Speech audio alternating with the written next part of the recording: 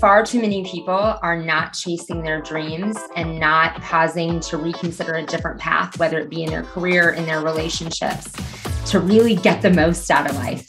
That many people have an unsettled feeling inside of them that they were meant to do something more,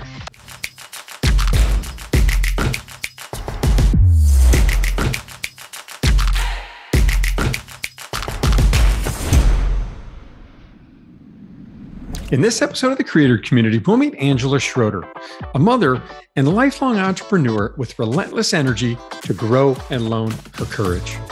We'll hear how Angela built her coaching business, learned how to borrow courage, and face difficult conversations again and again.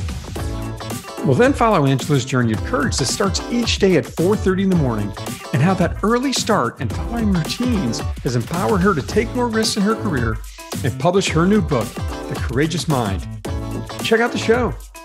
Welcome to the creator community. This is a podcast from book publisher New Degree Press. I'm your host, John Saunders. This show is designed to celebrate, elevate, and showcase many of the incredible authors that have published their books with NDP. This year, NDP will cross over 1,300 published authors from six continents and has recently earned the 293rd spot on the Inc. magazine 5000 list. This is the fastest growing privately held companies in America. This is episode three of season four, and today I have with me Angela Schroeder. Angela is an entrepreneur, speaker, coach, connector, lifelong learner, and now author. She's passionate about empowering leaders to live courageously and develop phenomenal cultures. With over 25 years of experience in launching and growing businesses and building successful teams, Angela has learned that it all starts with leading and knowing yourself well. Angela shared her self discovery with thousands of business leaders globally, growing their mindset, businesses, and lives through a company she founded, Courageous Solutions and Strategies. Angela's mission is to guide business leaders to a courageous mindset, putting mediocrity eternally behind them and achieving phenomenal results, both professionally and personally. Angela, welcome to the show. Thanks for having me. It's an honor to be here with you. Absolute pleasure to have you here.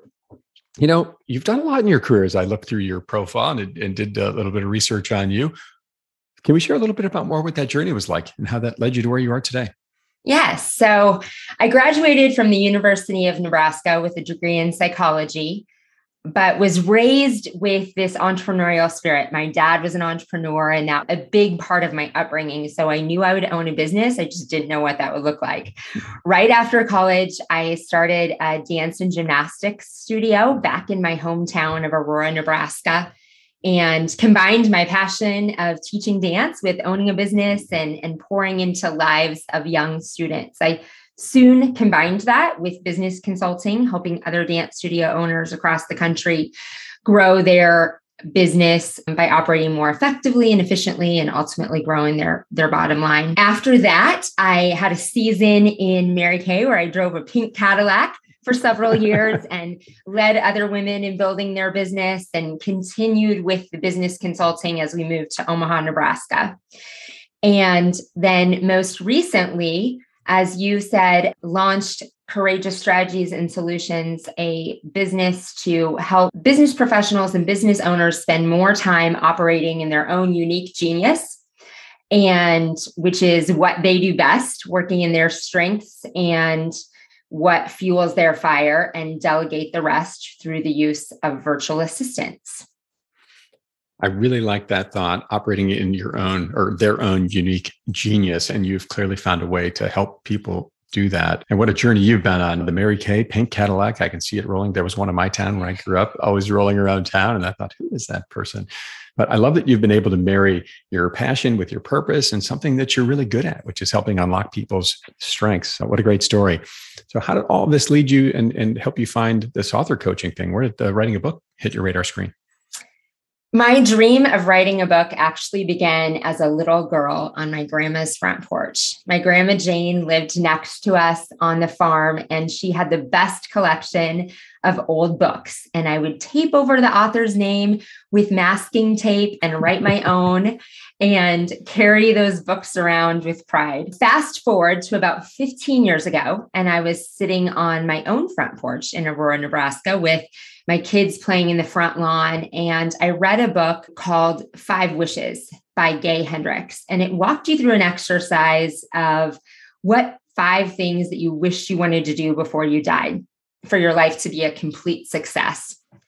Fast forward again to about exactly a year ago, and I was pulling a book off my shelf, and that book came with it, and the handwritten note fell out of the things I wrote 15 years ago, the five wishes. And one of those five wishes I'd written on that paper was to write a book and speak about it. So the gravity started to sink in that in 15 years, I really hadn't moved that dream on my heart forward. And I got a call from a friend to go to a last minute event and photo shoot. And I really didn't want to go. I wanted to just sit there and wallow in in your lost um, dreams. yes, in lost dreams. But something told me I needed to go to the event. And when I arrived, I met James Mansky, and he told me he had just written a book. After the event was over, we stayed and talked for hours. He told me about the Book Creators Program and what he had just gone through with Eric Koester's and how he was paired with editors. And over a year, that this program took him through every aspect of writing a book. I knew that that conversation was divine appointment. I had just been smacked in the face with my lifelong dream a little bit earlier. And then I now was learning from someone who just had written a book. So later that week, connected me with Eric and my journey of making my lifelong dream of writing a book began. That is so interesting. All the sort of touch points along the way of creation and fascination for reading and wanting to be an author and then writing this wish out and, and then the note falling out of the book. I love it. And then of course finding the, you know, someone who'd gone through the program. You know, how did you fit this thing in, into your life, Angela? Right? It's you're already a busy person. You've got a family. How do you find time to write a book? Yeah, it was just really a, a, passion of mine and on my heart. And I think being attached to that why helped as well. This program ultimately made it possible to interweave it in with running a business and, and doing life because they guide you in every single step of the way and hold you accountable. So break it into little bite sized pieces as you're working, taking classes and learning and learning from great authors, and then being able to work one on one with an editor who is giving you a timeline and here's what to do next. And really, like I said, spread it into bite sized pieces over a year and, and having a cheerleader there to keep you motivated and accountable. Two important parts there right? The the, the cheerleader the, the, accountability partner and the well and then of course the bite-sized chunks. Uh, i love that. So the Courageous Mind out this spring 2022, late spring 2022. When, what is The Courageous Mind? What's it about, Angela? It is about using courage to create more abundance in every area of your life.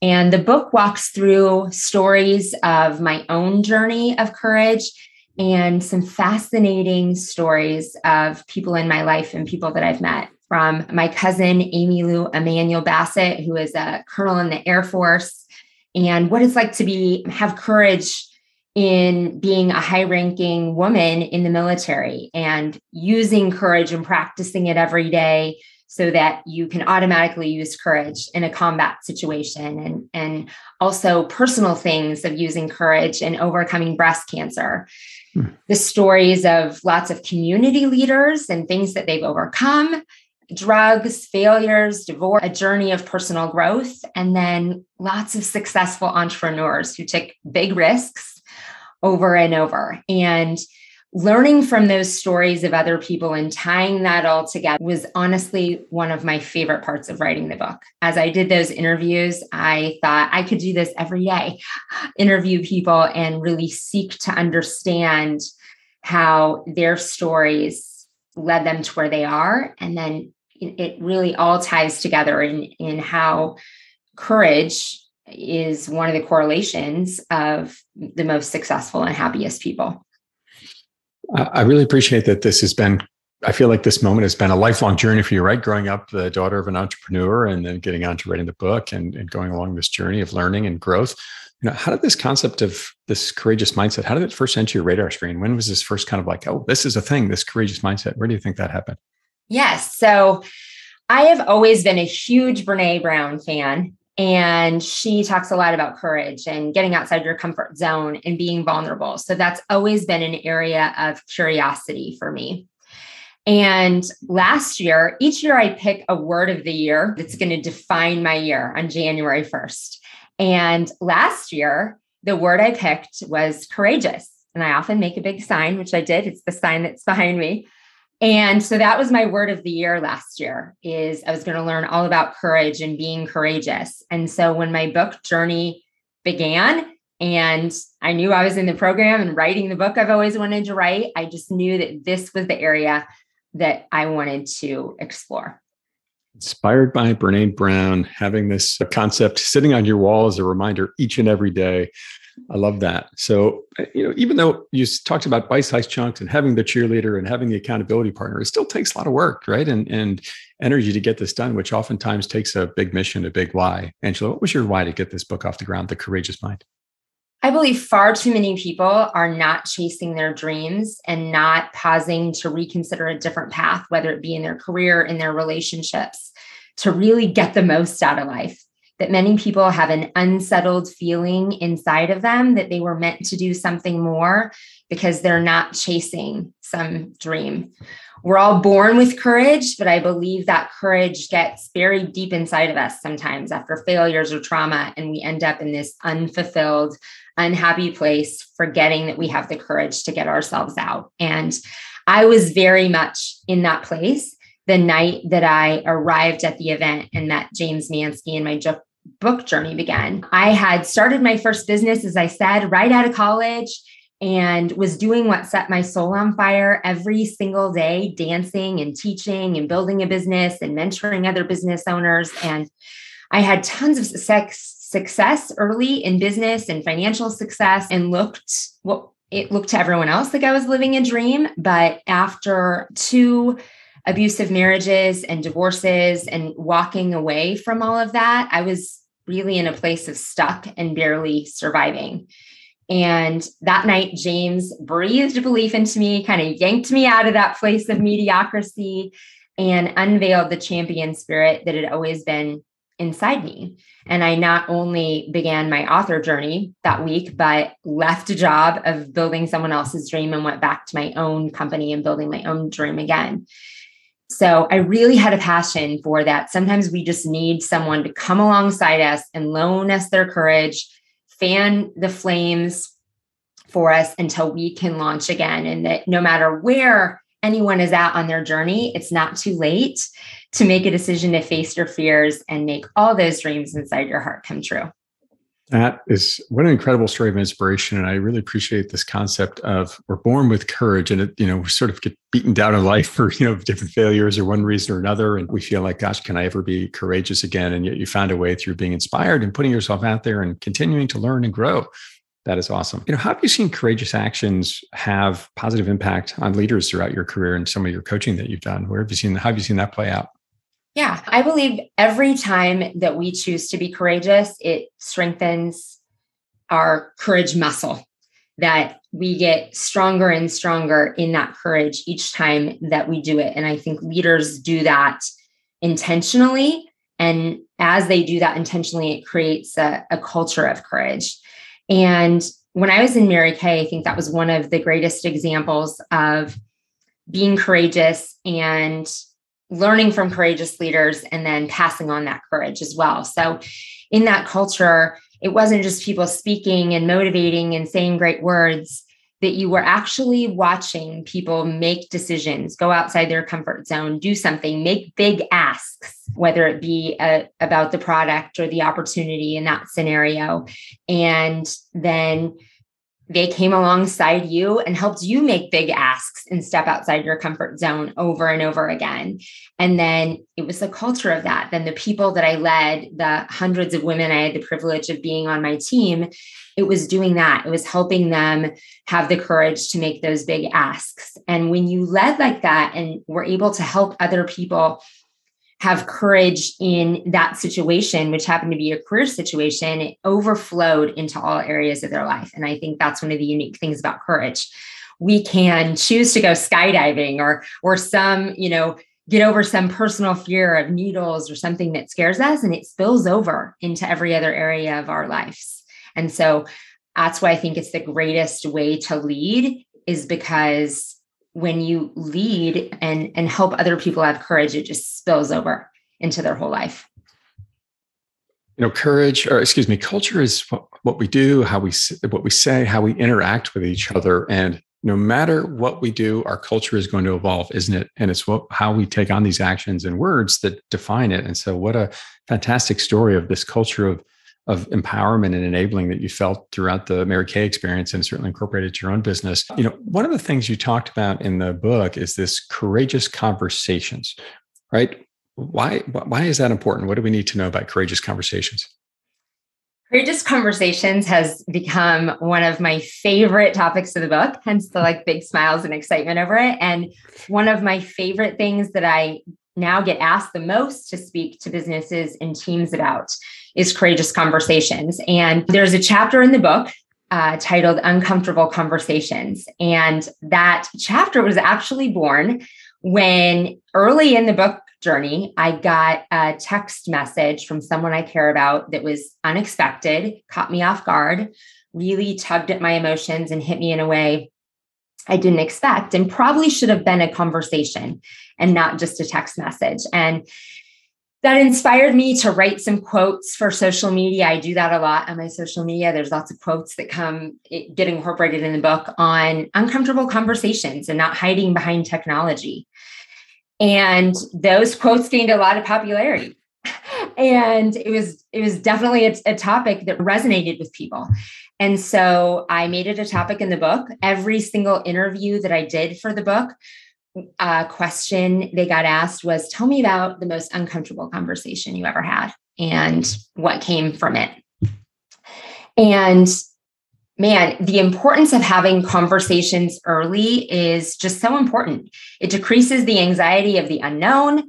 It fosters a greater understanding before emotions get too intense. I mean we all dread uncomfortable conversations and so most people just shy away from them and avoid them.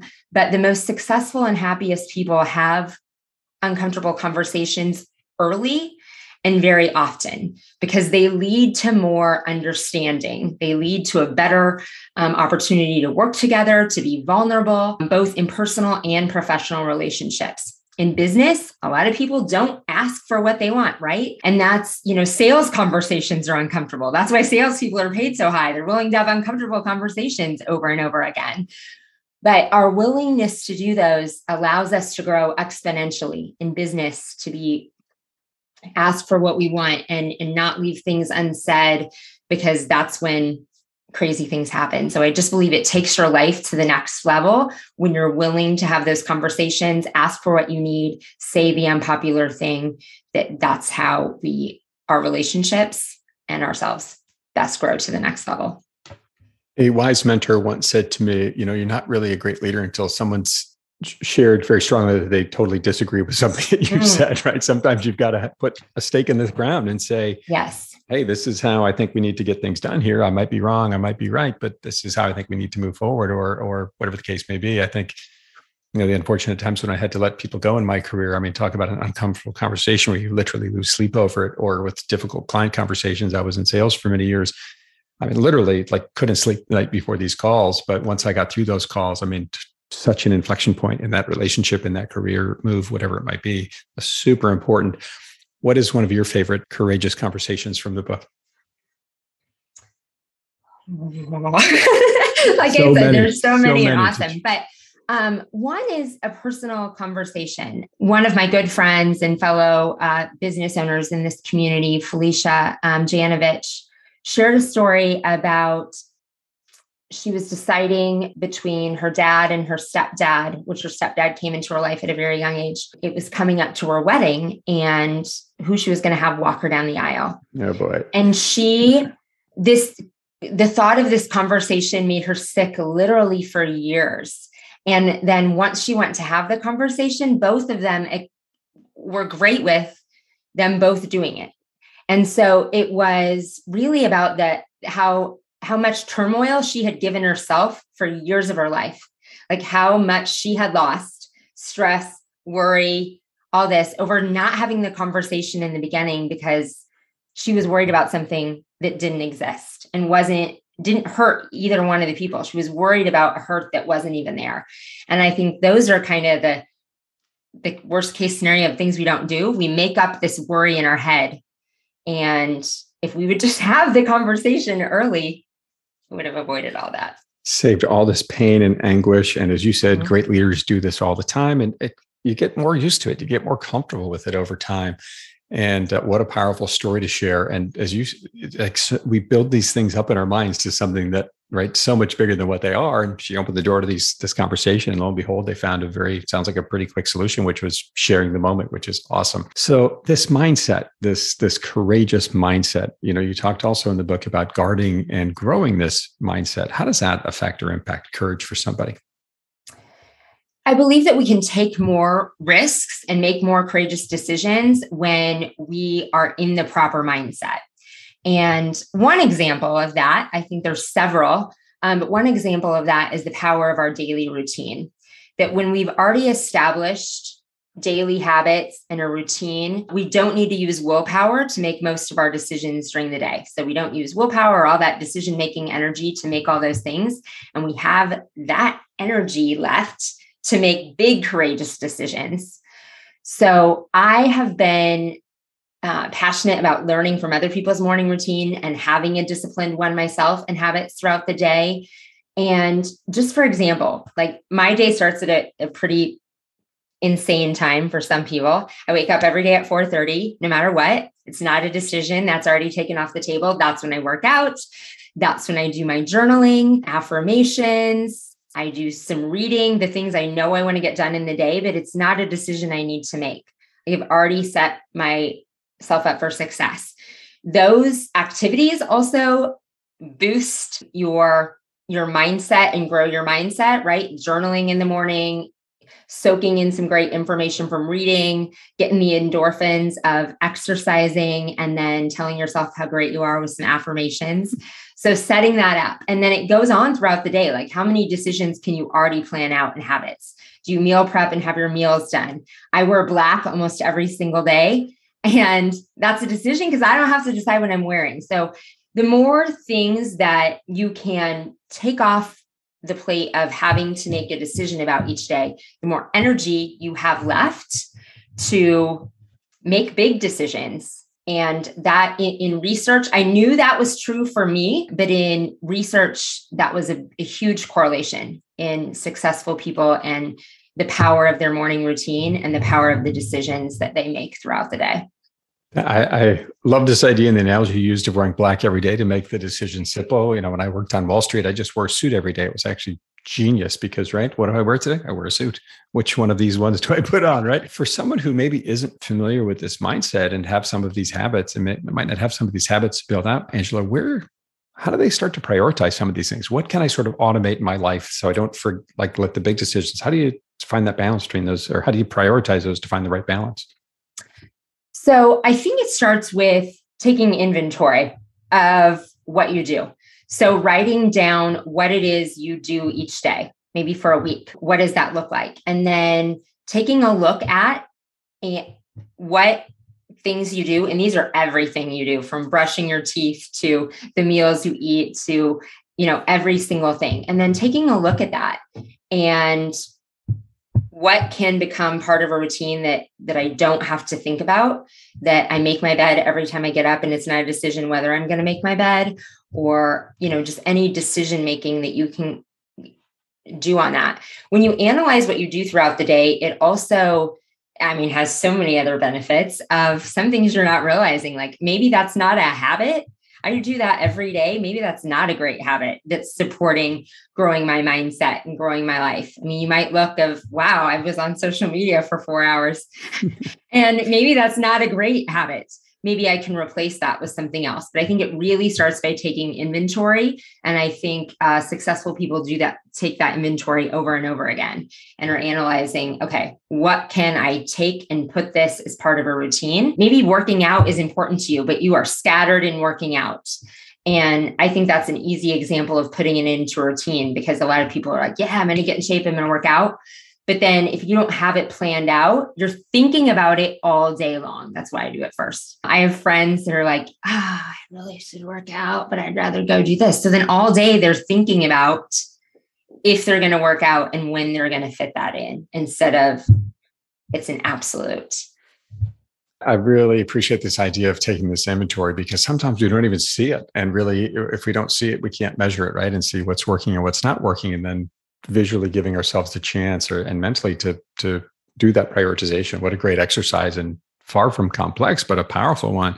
I remember Eric Koester had a guest speaker on for one of his speaker series sessions, Noah Kagan, one of the first employees at Facebook. And his line around this I thought was great. He said, set your goals, constantly check on them. If you aren't hitting your goals, check your calendar, was the way he said it very simply. Mm. And it sounds like a, a similar thing here with a lot more practicality attached to how you described it couldn't agree with you more. When I was a salesperson on Wall Street, I constantly was refining my touch strategies. So I didn't have to think about it. How often should I talk to this client? I worked on the cadence and landed on it and just ran with that and uh, figured it out. And it ended up working pretty well over time. So, really powerful, practical exercise. Courage. Why is it not more common, you think, out there? I think in the world that we have so much going on in our lives right now, it's easy to get stuck living on autopilot and not really on purpose, that people are just so consumed with the obligations of their daily lives and just getting it done and getting it done and are end up thinking they're happy living in comfortable and that far too many people are settling for that that they're just settling for comfortable. So uh, they're not even thinking about courage because they think, why do I need to be courageous? I'm just going to sit here in my comfortable everyday routine and and not rock the boat. And as that happens, we end up in environments and circles of influence and people in our lives that are all the same way, that are kind of supporting our comfortableness. and nobody rock the boat. And if everyone around me isn't rocking the boat or doing anything courageous, then I'm just fine in my comfort zone too. And it's when we take a moment to stop and analyze are we really happy or are we just comfortable? Is there something else greater on the other side? And maybe break out of that circle that somebody different enters our life or we see something different that inspires us to make a change and be courageous.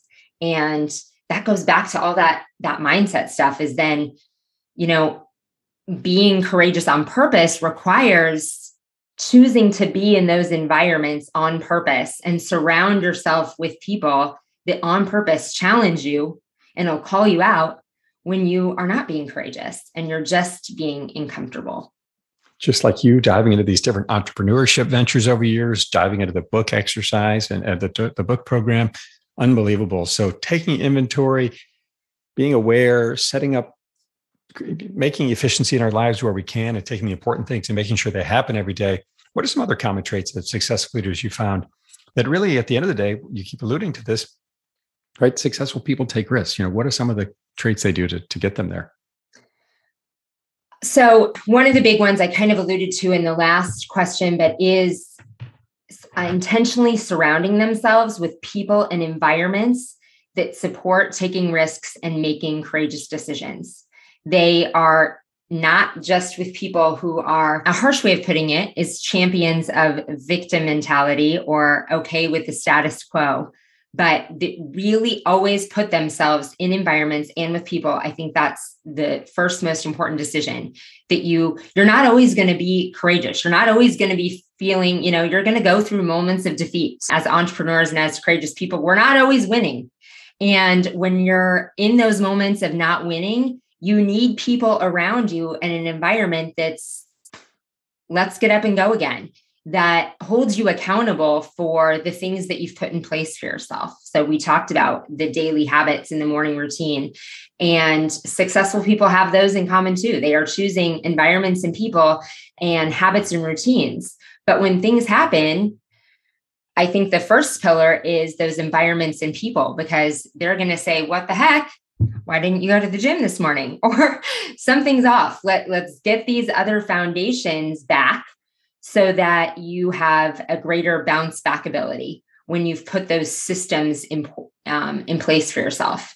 So those those people and environments help support the bounce back ability and they also just constantly challenge you to go to a different level. When you're around those people they're they're calling you out and and challenging you to do something more and you're watching them do more so it's it's this ripple effect because courage is contagious I've heard a variety of sources on who this quote goes back to, but you are the average of the five people you spend the most time with. I've heard a few different sources of who that goes back to, so I, am not sure who it is, but I think it's a good one, and you allude to it here, right? If if you have a, a, a tough day at work and you go to your your five most common people you talk to and they say oh well work just stinks once in a while and that's how it is, mm-hmm. right? As opposed to challenging you on what could you have done differently? How could you approach that differently? What does your calendar look like? I mean what a, a what a fantastic exercise to make all of these things come to life and and finding that accountability. And i think if friends around you in your community aren't challenging you I, i'm with you. I think there's a maybe another place to go and, and find a better way for yourself. So speaking of all these challenges and this this growth you've been on, Angela, you know, how would you say that this book journey has changed you? You know, what have you learned about yourself along the way in this big challenge you've taken on? So much. I think my greatest takeaway is there are two types of courage. And one is how I always divine, defined courage before. And that is suiting up with armor and running into the fire doing big, brave things, everything that we've really talked about so far of taking risks, taking risks that other people admire, that people look at and say, wow, that was brave, starting those businesses, walking onto a big stage, skydiving, you know, all the big things that people see as bravery. But I believe the other type of courage is being willing to shed all that armor and surrender to being vulnerable and being willing to see first your own flaws, which is difficult, and then letting a close circle of people around you at least see that as well and being really true and authentic. The next step is really being true and authentic to more and more people in the world. But that is, I think that type of courage takes even more strength or, or mm-hmm. more courage for that second one. And that's not really what most people think courage is, and not a thing I ever thought of before. But this book journey was a lot about learning that second time of courage, second part of courage, and really being willing to grow and shed that armor, be vulnerable with my own story. And because of that, doing a lot of work on myself and healing from experiences and that's really something, one of the most important things we can do as leaders that I didn't know at the beginning of this book journey of how important it was to really be vulnerable and recognize things about yourself and heal those things first so that you could be better for other people. Right. If you don't figure out your own challenges first, it's hard to help others with with their problems. And I I really appreciate this concept of being vulnerable, being your authentic self to others and seeing how they react to that. And many times we're afraid to put that, you use the armor analogy really, we're afraid to take off that armor and show ourselves to people because who knows what they might say. We might not like it.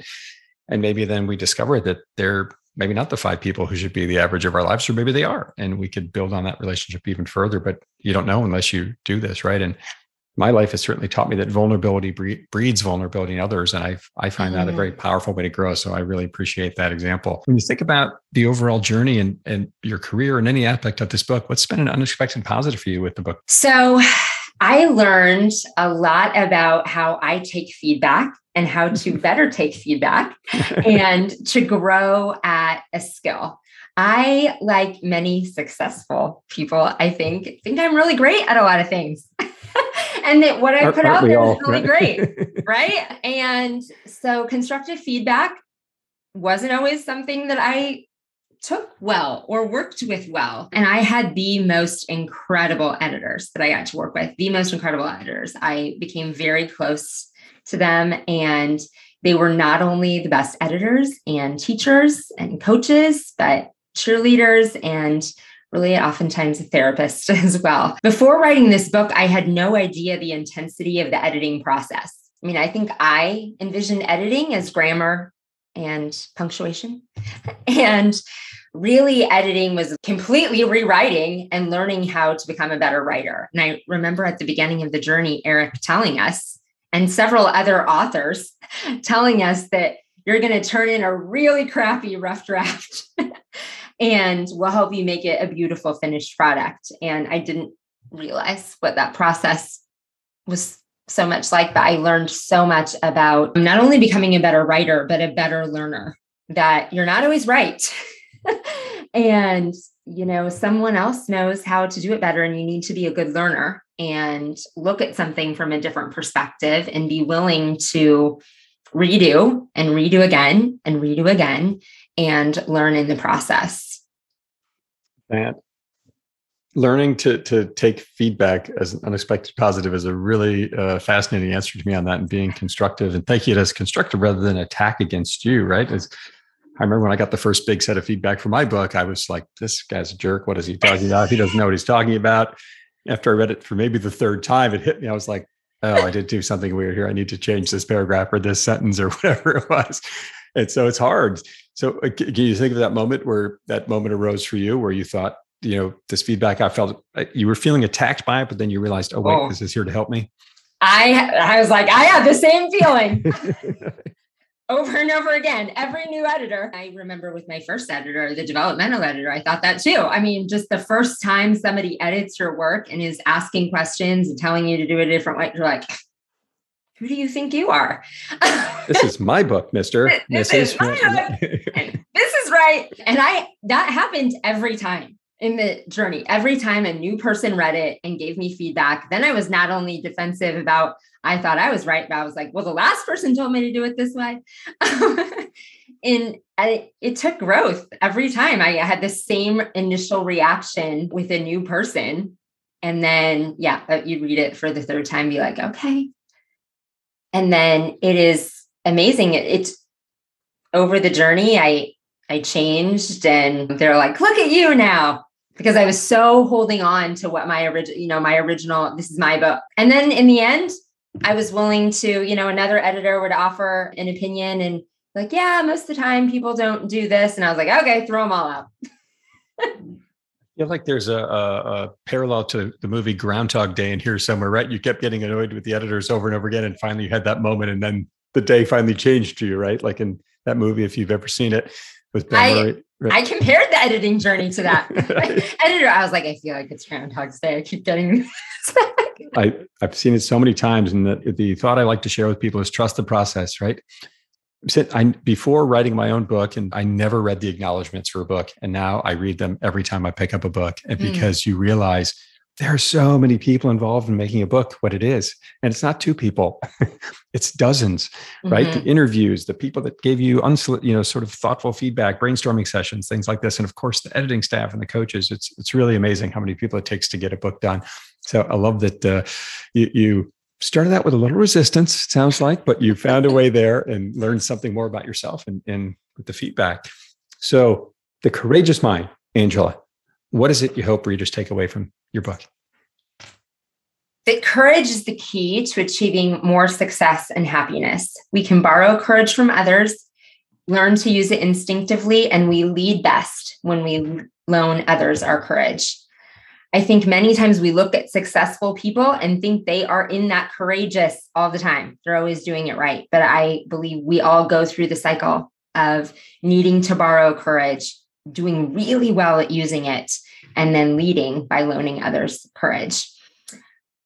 That research and all the stories really support that successful people train themselves to use courage and do it over and over again in facing their fears. When I was a little girl, my dad started training me to face my fears over and over on a regular basis. He would have me pick up snakes intentionally out of the yard, back a trailer, anything I was scared of, he had me do it over and over to learn how to face my fears and what that felt like. When I was in third grade, he set a goal of selling a thousand boxes of Girl Scout cookies for me, and I will never forget it. The uncomfortable feeling in my stomach when I put on my uniform.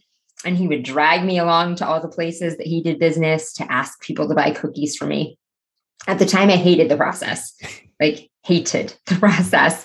But that experience not only gave me a great sales training that served me well in my career, but it taught me what fear felt like. And it taught me what pushing through fear felt like. And when we know that, we can embrace it and do it more often. And how do we do that? That's a takeaway of this book. How do we put ourselves in those environments and continue intentionally to face fears to achieve more.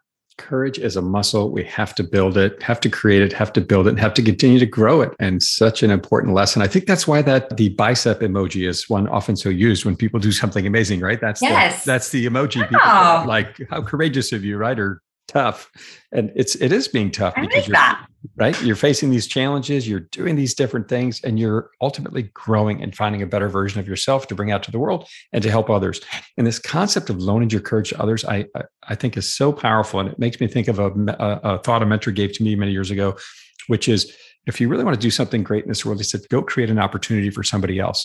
Mm-hmm. And I've always taken that to heart. And, and I now I'm a mentor to a few folks and, and try to build upon that. But I think there's a corollary here with like, because when you're mentoring, you're lending other people your courage in many ways through your journey, your experience, your mistakes. And so what a beautiful message to share. Thank you for that. What is next for Angela Schroeder? The book's coming out spring, late spring 2022. What's what's what's next for you, my friend? Yes, I'm excited to continue speaking, doing workshops for businesses and teams, and working with individuals who want to grow their courage and grow their leadership and ultimately grow their lives. My mission really is to impact the most lives I can. And as I said, courage is contagious. So when you help people grow their own courage, you are creating a ripple effect of lives that they will impact. Growing courage. Love it. And it makes me think a little bit about this great quote you got from someone for your book, Van Deeb. This was one of the quotes, I think, on the back of your book, right? To be successful, we need to associate with like minded people. And Angela Schroeder is a rock star in her space of helping others. If you're going to be in it, you might as well be the best at it. Angela has the tools and resources to get you there. Uh, how did it feel to get that quote from Van? Great. Van is a great mentor of mine and best-selling author. And yeah, he's a like-minded person that has encouraged me to do more as well. That is awesome. Somebody who's encouraging you, pushing you, helping you, helping you grow. Angela's book, The Courageous Mind, will be available late spring 2022, wherever you buy books online. Angela, if people want to learn more about you and your story, where, where might they go?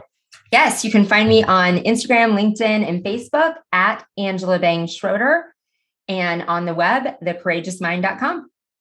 Absolutely incredible story. Challenging ourselves, getting better, being more courageous, ultimately finding a better life for ourselves a life for ourselves, taking more risks. And I think at the end of the day, delivering better results and feeling more inspired and connected to our work. What a great message. Thank you for sharing here today, Angela, and being on the show. Thanks for having me, John. Thank you. I'm your host of the creator community, John Saunders. Keep moving forward.